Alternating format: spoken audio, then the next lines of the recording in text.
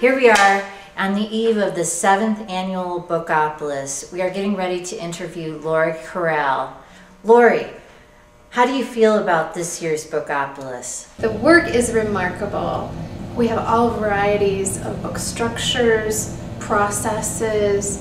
Thematically, we um, did not request one theme this year. So we have people investigating their own subject matter.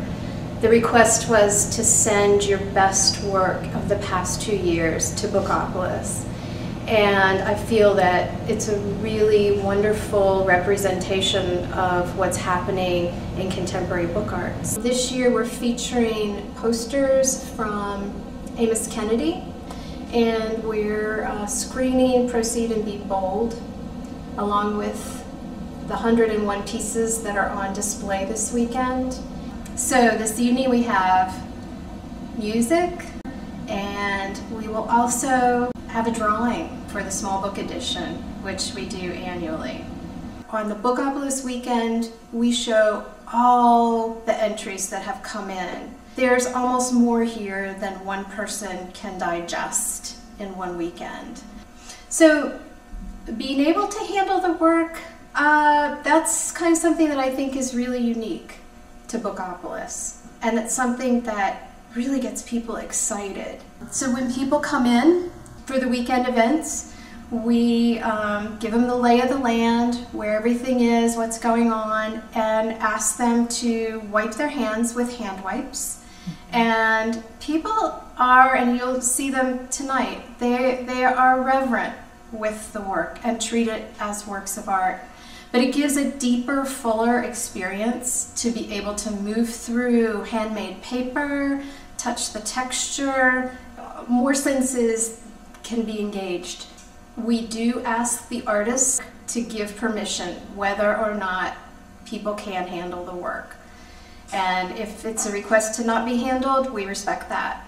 But in general, I would say that artists, book artists, printmakers are excited to have people interact and have the full experience of the work.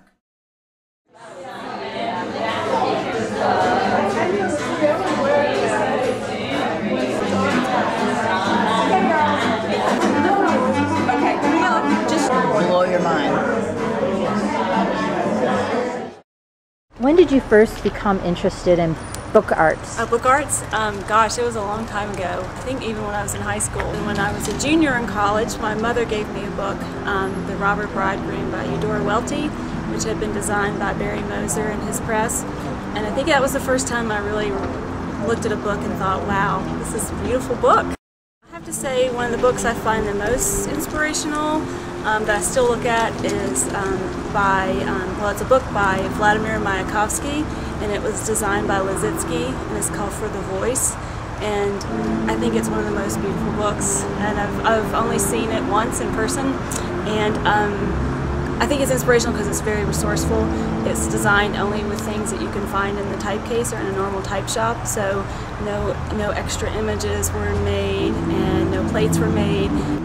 What do you look for in a well-rounded piece when jurying a book arts exhibition? Yeah, so I'm looking for um, good craftsmanship, a great concept, um, and but most importantly, the way those two things come together. How does one support the other and not be overwhelmed by the other? So you can have a great idea and maybe not have it executed as well as you would like, and your idea sort of suffers, and vice versa. You might have a beautifully executed book, but if it doesn't work well with the content, so for me, it's the combination of those two things.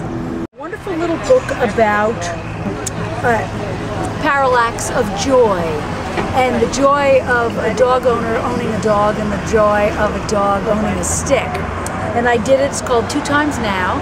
I've been a bookbinder 23 years and I do miniatures every year. In the last five years with Small Book Exchange. Uh, but I'm predominantly a restoration binder. I do conservation and restoration. And I've really liked some of the people I've met who have their Bibles restored. And that's very special. Taking classes here, I've learned to uh, set type and letterpress. Uh, I'm, a, I'm a beginning wood, wood engraver. I've taught classes here. Box making, leather, bindings. Found been open about a year when I found it, and uh, it was marvelous. I took my first class here, and I have been hooked ever since. It's wonderful. It's so much fun. More interactive than a museum. You can't touch things. It seems more accessible. So is this your first show here? Uh, no, I've been in a couple of other Bookopolis shows. I have work from all over the country and from really highly skilled professionals and from enthusiastic amateurs. It's good to think things are alive and well in book arts. Hi, Kathleen. Is this your first year doing a Bookopolis? It is. It is. Do you take classes here at Bookworks? I do. One of the new bindings that I've learned um, that is extremely attractive is Romanesque. That's the fancy binding. It's the fancy binding. And I noticed you have these beautiful book earrings. Yes, Talk- that I made myself. Mm-hmm. You came in from out of town today. Greensboro, North Carolina. Yeah. Are you a, a book arts? I am. I have some pieces here. I think the first year I submitted work was 2007. Mm-hmm. I love this place. I have taken several workshops here, and um, I participated in the Ladies of Letterpress conference last month. And I'm envious of people who live right here, but I feel fortunate because I live only two and a half hours away. I'll, I'll be coming up next weekend to do the paper making for a day. So every, I, it's wonderful. Called Ghost. And then I have a little one out here too. And they were done really kind of as a set. That is just beautiful. Thank you. This the transfer here was is from fabric that I bought in Provence while we were there. I was doing a teacher's retreat at Penland mm-hmm. and decided to stay in Asheville for a day. I really didn't know what to expect. Mm-hmm. It's my first time here. Mm-hmm. And there's so many different forms of books and it just seems like there's no rules at all. I really like the fact that there's no rules to making books. There's so many different sizes and materials. It's really fun. It's pretty fantastic. I've seen some really amazing. It's a really fun opportunity for book artists. I'm taking a class here. You are? Yeah. What kind of class? I took the Magic Box class with Steve. Yeah, it's good stuff. I started out as a graphic designer and decided that it was terrible and I wanted to work with my hands. So I started doing a little printmaking, like mostly wet block printing, and then went to bookbinding.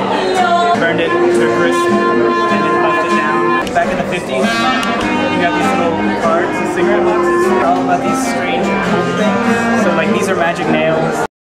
Is this your first time at Bookopolis? No, I come every year. I really look forward to it. What was your favorite piece this year? Did you have one? Oh gosh, it's always in this corner.